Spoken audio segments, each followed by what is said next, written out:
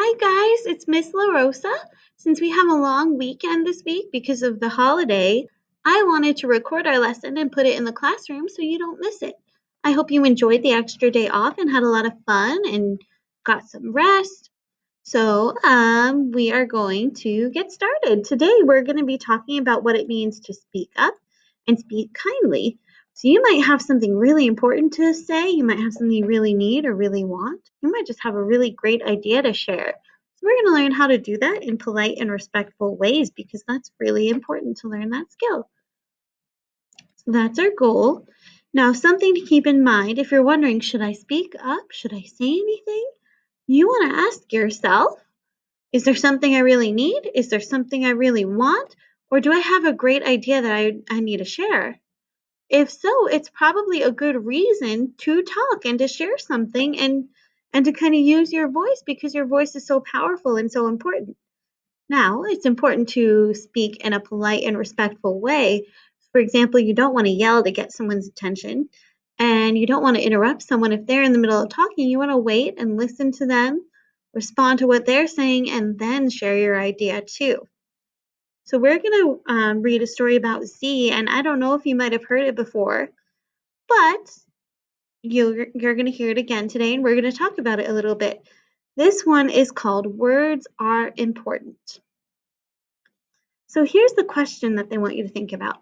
Have you ever had a great idea that you wanted to tell someone? What did you do? So here we have Z and his friends one afternoon, Mia, Kenny, and Kayla came to the treehouse and were very excited. They had a big, colorful box with something new inside. Look at this, said Mia. It's a bubble machine. It blows bubbles out of all these different tubes. Z didn't know anything about bubbles, but this sure looked exciting. Z and the kids scrambled to pull all the pieces out of the box. And look how happy they are.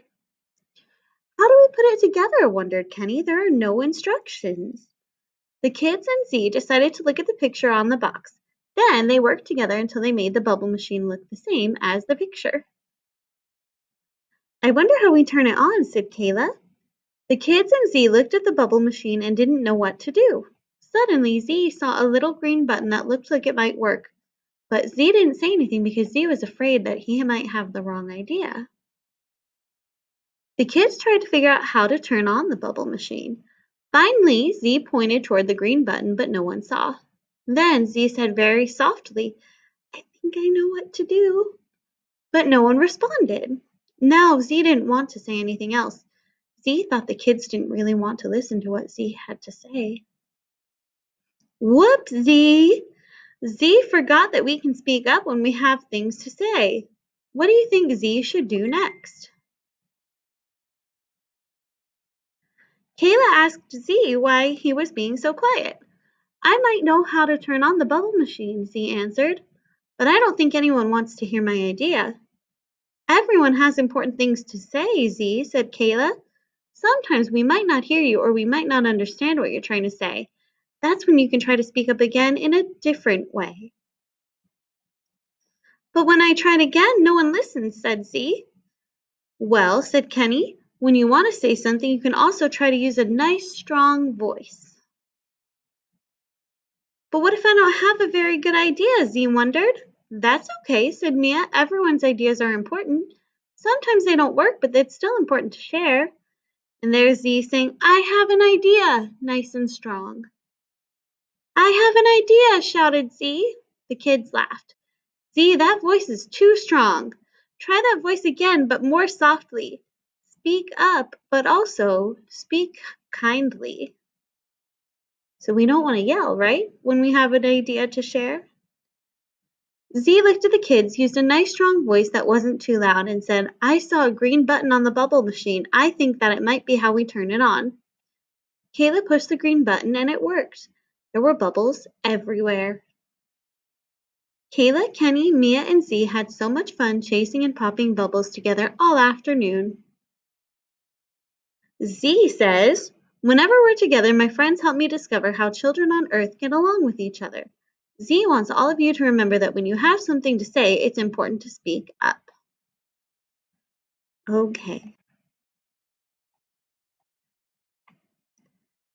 So notice they did want to hear what Z had to say, and he did have a really important, helpful idea to share.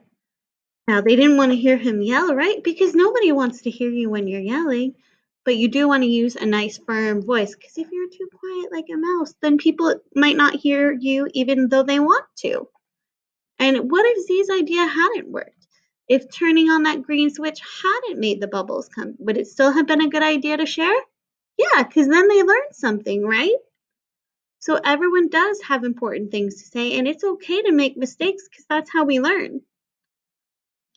So, how do we speak up and speak kindly like Z was learning how to do? Well, first of all, you can stand nice and tall like a giraffe. Next, you want to look at the person or people you're talking to. And then you want to use a strong but respectful voice. So you're not going to yell, you're not going to shout, but you're not going to whisper either or be so quiet and shy that no one can hear you. You want to talk kind of like how I'm talking to you guys right now, where you can all hear me. So we don't want to be quiet as a mouse, but we don't need to be yelling like this one over here either. Kind of think of how a, a lion is nice and loud and you can all hear what they have to say. Okay. Now also make sure to use kind and polite words. So say please and thank you. If something might hurt someone's feelings, you probably want to be, you know, you don't want to say something that would hurt someone's feelings, right? So make sure you're being polite and considerate of other people. So, for example, if you think your painting is better than everyone else's, should you say that out loud? Mine's better than yours. Let's think about that one. I'm going to say no, right? Because no one wants to hear something like that because it could hurt their feelings. That's probably something you would want to keep to yourself, even if you feel that way. What if you hear a classmate say something mean to another student? Is it okay to say what someone sa said or does wasn't kind or fair? I'm going to give you a second to think. So if you answered yes, you would speak up, you're absolutely correct. If you see someone being rude or unkind to another person, you definitely want to speak up and tell them what they're doing isn't a good choice and isn't nice. You don't want to yell at them for it. You don't want to call them a name or do something like that back. But you want to let them know that you don't think it's okay. Okay, if you're building with blocks and your friends have the idea to build a zoo, but you aren't, or sorry, you're building blocks with your friends and you have the idea to build a zoo, but you aren't sure if your friends will want to hear it. Do you think it's okay to tell them that you have an idea? If you answered yes, then you would be absolutely right.